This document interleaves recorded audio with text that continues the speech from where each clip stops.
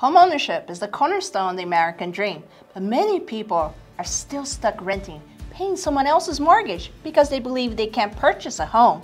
I am Sarah Oswald with Realty One Group. I'm here with Cynthia Soriano with PRMG, and we're here to show you otherwise. With the CalHFA Down Payment Assistance Program, we can get you into a house with little to nothing down, with up to 100% financing as well. Cynthia, can you give us a bit more information about the program and what it takes to qualify? Definitely. CalHFA is a government assistance program for first-time homebuyers who need financial backing in order to purchase a home. CalHFA allows buyers to combine multiple subset programs offering funding towards the down payment, and it can even cover a substantial amount of the closing costs. The finance amount is deferred for the life of the loan or until the buyer sells their home, refinances, or pays off their first mortgage.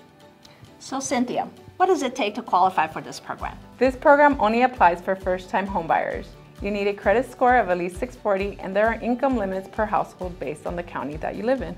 So if you or someone you know has thought about purchasing a home, but you're worried might not qualify, give us a call.